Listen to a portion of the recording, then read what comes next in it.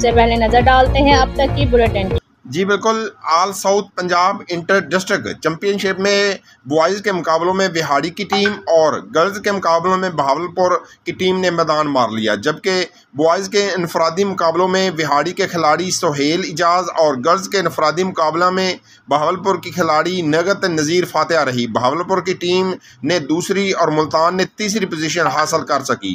खातन के इनफरादी मुकाबलों में खानेवाल ने दूसरी और बावल नगर ने तीसरी पोजीशन हासिल की। खिलाड़ियों में ट्रॉफियाँ, मेडल्स और शेडल्स तकसीम की गई। तीर अंदाजी मुकाबला जात में खुर्शीद अनवर स्टेडियम में वाक़ जिमनीजियम में मुनद हुए इनडोर तीर अंदाजी मुकाबला जात में D G Khan Lodhran Vehari, Khanewal, Multan Bahawalnagar और बहावलपुर के खिलाड़ियों ने हिस्सा लिया। तीर अंदाजी में चैम्पियनशिप में मर्द व खातन खिलाड़ियों ने अपने फ़न का मुजाहरा किया।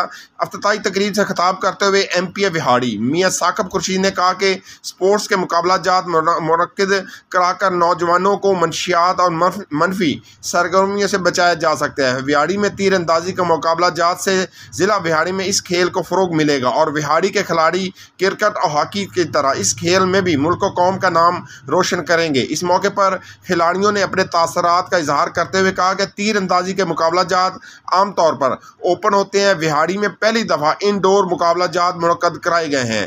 तीरंदाजी इंटरनेशनल खेल के साथ साथ इस्लामी खेल भी है। मर्दों के अलावा खातन भी इस खेल में मुल्क कौम का नाम रोशन कर रही हैं। तीरंदाजी बहुत महँगा खेल है। इसमें हिस्सा लेने वाले खिलाड़ियों को बहुत बड़ी मुश्किल से गुजरना पड़ता है। जी कैमरामैन टीम के साथ मोहम्मद शमून नज़ीर विहाड़ी। रिश्ते भी चमके चम चम। चम चम चम चम चम चम चम चम।